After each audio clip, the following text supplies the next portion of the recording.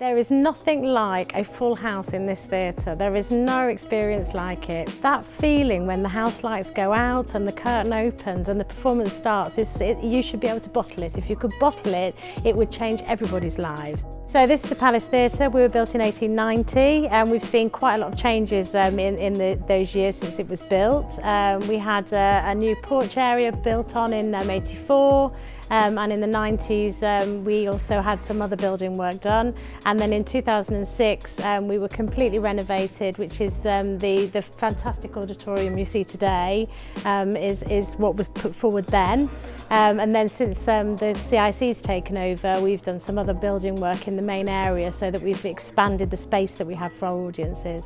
So Jazz Hands CIC that runs the theatre now, it's a community interest company which means it's a not-for-profit.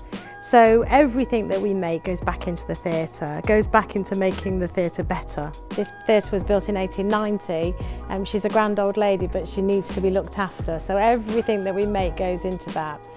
We're really lucky that we're supported by the Friends of the Palace Theatre. The Friends of the Palace have members. Anybody can join to be a Friend of the Palace. It costs um, the grand sum of £10 per year.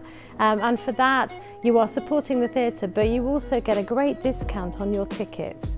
Um, so it's a really good thing to be involved in.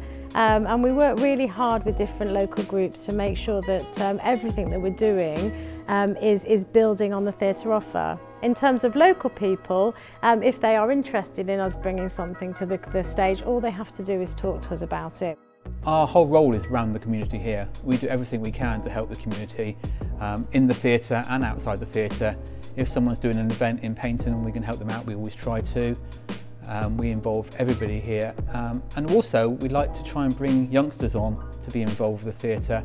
So quite often up here I'm running the show and I've got a 14 year old who wants to do work experience, who wants to run the show. Um, we get the local college to come and do shows here and we let them do what they want to do to run the show and we'll oversee them. So it, we are big, one big happy family for the local community.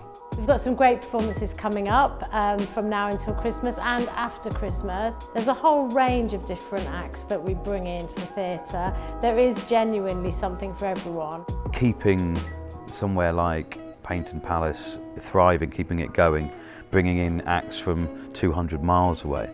If you don't have that, everything's going to get very, very stale.